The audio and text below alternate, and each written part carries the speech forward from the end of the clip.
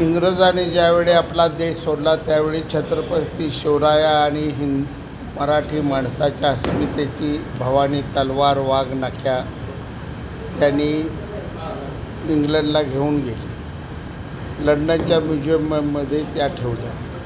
परंतु शिवसेनेचा खरा वाघ एकनाथजी शिंदे मुख्यमंत्री पदावर बसल्यानंतर एकनाथजी शिंदे साहेबांनी त्या वाघ वाघ नख्या आज महाराष्ट्रात परत आणलेल्या आहेत. आदित्य ठाकरेंनी तीन वर्ष चार वर्ष खऱ्या खोट्या याचा काही जास्त चर्चा करू नये.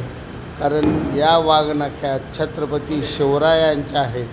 त्यावर कुणी ब्रशब्द बोलू नये असं मला वाटतं. विदेशवारीहून आदित्य ठाकरे वारंवार टीका केली जाते की विदेशवारी विदेशवारी जी आहे त्याच्याहून आदित्य ठाकरे वारंवार टीका राज्याला पुढं घेऊन जाण्यासाठी राज्याची प्रगती करण्यासाठी वेगवेगळ्या देशातून मदत घेण्यासाठी विदेशी व्यवहारी करणं हे प्रगतीचं लक्षण आहे.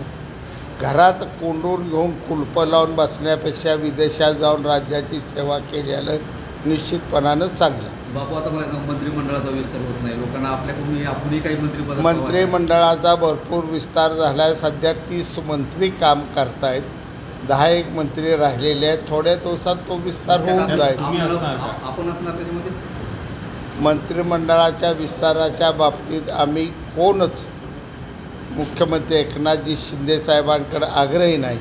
ज्यावेळी मंत्रिमंडळ विस्तार होईल त्यावेळी शिंदेसाहेब निश्चितपणे योग्य लोकांना संधी तर नाच सोडून दिला मंत्रिपद बच्चू पडू कु कडू कुठेही सोडून गेलेले नाहीत.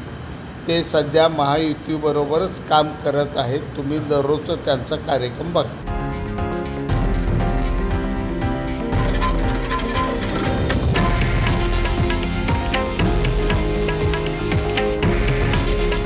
हे आहे देशातील नंबर वन न्यूज नेटवर्क. आणि आपण पाहत आहात टी व्ही नाईन मराठी. काळजी तुमची हित महाराष्ट्राचं.